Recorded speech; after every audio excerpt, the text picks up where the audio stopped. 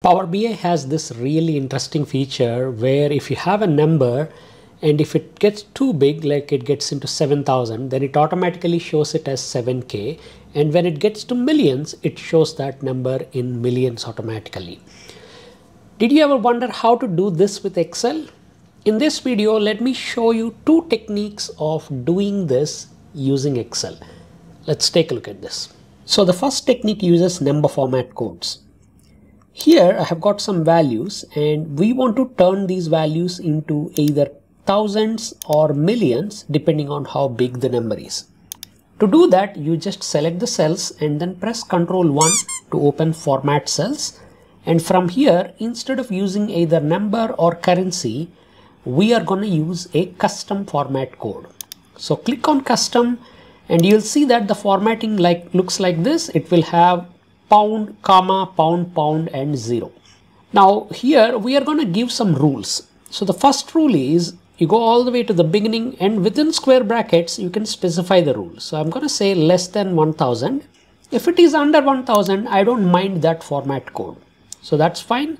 Then we are going to use a semicolon and then open one more square bracket this time we want to check for if the number is under 1 million then we want to format that in thousands so 1 and 6 zeros.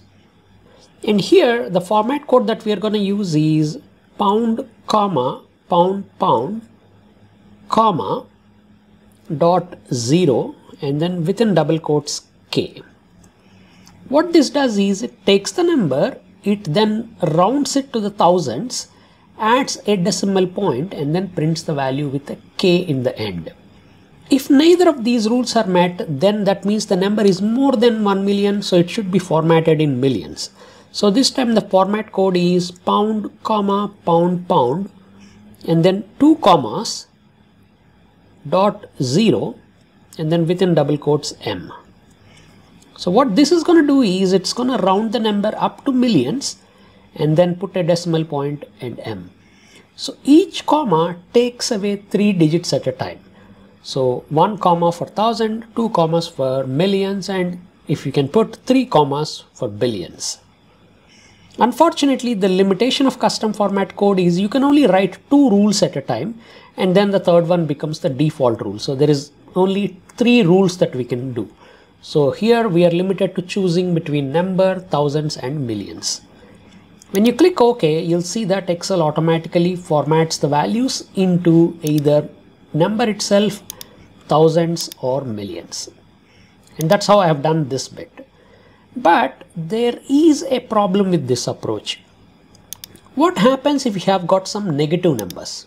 I've got these negative numbers here. You'll see that all these negative numbers will be appearing in their original formatting. They cannot have this kind of thousands or millions option because our rules are written in such a way. I'll show them again to you here if it is under 1000, then the number should present as itself. As the negative numbers are always going to be under 1000, you will end up with this kind of a setting. So that is a limitation of this cell formatting based approach. So normally when I make a dashboard, I use this kind of a technique. But because it doesn't work with the negative numbers and also it has a limitation of only going up to three rules, there is a formula based technique that I normally use and here it is.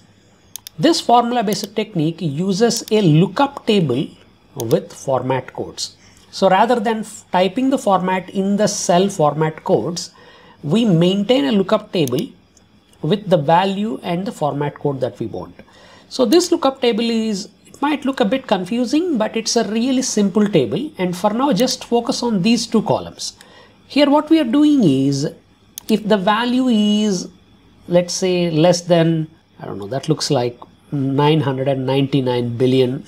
Then it will appear in the format code like this.